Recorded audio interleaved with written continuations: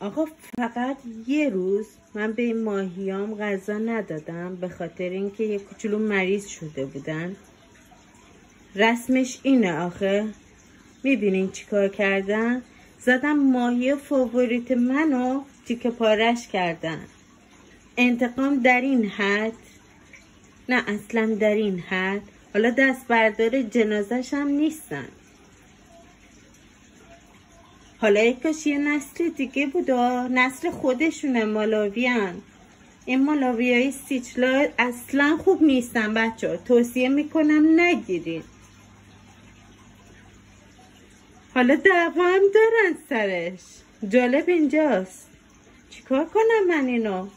جنازه مون دستم.